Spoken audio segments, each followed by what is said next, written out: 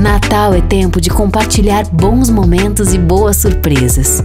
Com quem já compartilha muito carinho com você. Com quem compartilha as melhores histórias. Com quem compartilha a vida. Com você mesma.